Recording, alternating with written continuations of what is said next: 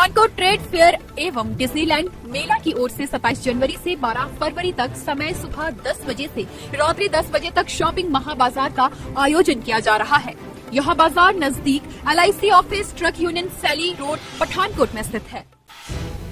Himachal home guard कल्याण संघ की बैठक हमीरपुर के एनजीओ भवन में हुई। संघ की कार्यकारिणी का पुनर्गठन करते हुए सर्वसम्मति से जिला चंबा के जोगिंद्र सिंह चौहड़िया को अध्यक्ष चुना गया। डलहौजी पहुँचने पर जोगिंद्र सिंह ने बताया कि प्रदेश के होमगार्ड जवानों ने जो ज़िम्मेदारी सौंपी है उस पर मैं खरा उतरने की पूरी कोशिश करूँगा। अध्यक्ष पद पर रहकर संगठन की मजबूती विस्तार तथा होमगार्ड जवानों की समस्या को सर्वोपरि मानते हुए उनकी मांगों को हल करने का प्रयास करूँगा। पिछले कल इकतीस जनवरी को होमगार्ड कल्याण संघ का चुनाव हुआ। आपका क्या यो, योगदान रहा? सर उसमें पिछले कल जो चुनाव हुआ हमारा उसमें पूरे प्रदेश ने अपना योगदान जो है वो जिला चंबा को दिया है। मुझे इस पद पर उन्होंने विराजमान किया है, होमगार्ड अध्यक्ष पद पर।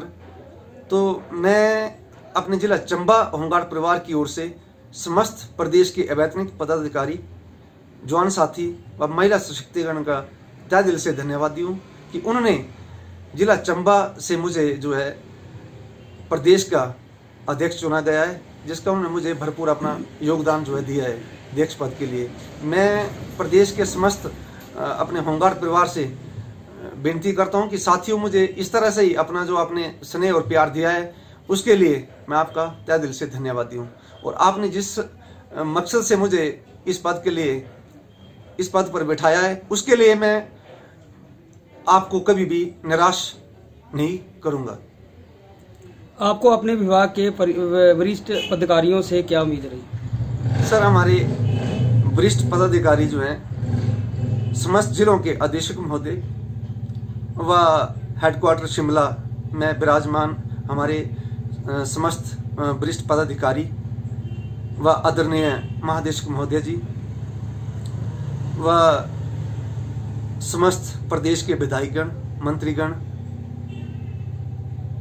आदरणीय चीफ सेक्रेटरी होम, आदरणीय प्रमुख शासन सचिव, माननीय मुख्यमंत्री महोदय जी को मैं सबसे पहले तो अपने होमगार्ड परिवार की ओर से, उनका तय दिल से नए साल की ढेर सारी शुभकामनाएँ देता हूँ और उनका तय दिल से धन्यवाद करता हूँ कि उन्होंने हमारे महादेशक महोदय द्वारा जो होमगार्ड परिवार के हित के लिए, जो उन्होंने प्रस्ताव सरकार के समक्ष रखा है, मुझे उम्मीद है कि आदरणीय चीफ सेक्रेटरी होम व आदरणीय प्रमुख शासन सचिव व माननीय मुख्यमंत्री मोदी जी से कि वो ज़रूर होमगार्ड जवानों के हित के लिए, इस विधानसभा सत्र में जवानों के हित के लिए कोई ना कोई ज़रूर उचित फैसला जो है, वो ज़रूर लेंगे।